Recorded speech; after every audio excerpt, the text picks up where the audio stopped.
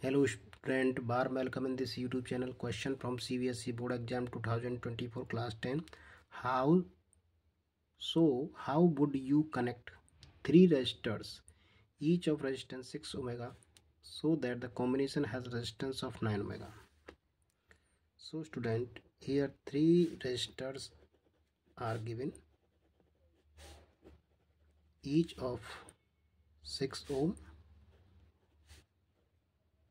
okay. And we want to find out resultant resistance as 9 omega. So we first connect two resistors in parallel.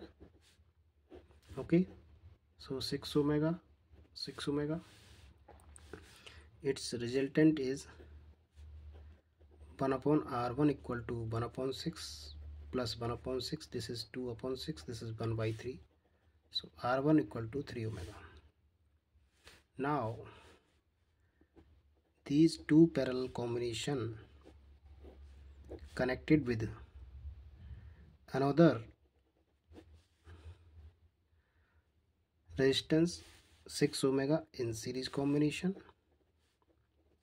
So equivalent resistance equal to r equivalent equal to r1 plus this 6 omega so 3 omega plus 6 omega is equal to how many? 9 omega. So first we connect therefore 6 omega and 6 omega are in parallel. And 6 omega with series. So this is our answer. I hope you got it. Please like the video. Subscribe the channel. Thanks for watching